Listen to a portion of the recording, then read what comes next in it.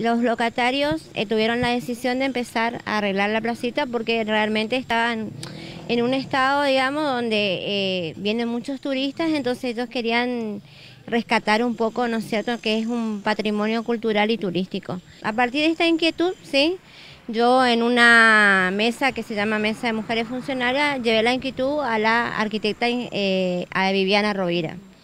Ella a su vez también lleva la inquietud al gobernador. Ahí hace la intervención, ¿sí? Eh, con pedido del gobernador, de arquitectura de la provincia. Está haciendo eh, los arreglos edilicios más importantes, este lindo proyecto que es un proyecto social.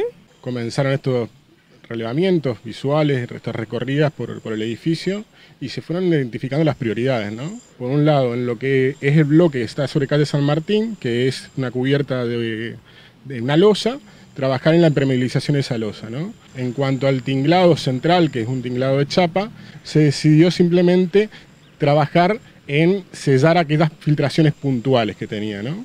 Después, bueno, una mejora en lo que tiene que ver con la fachada sobre calle San Martín, planteando trabajar con los locatarios una, idea de, mural que cuente un poco tal vez la historia eh, de, este edificio histórico y también aquellas reparaciones puntuales lo que tenían que ver con los sanitarios, que creo que es una muy buena decisión porque no solamente tiene que ver con el locatario, sino con el visitante, ¿no? Dar una comodidad al visitante, dar soluciones, eh, creo que, que es más que interesante.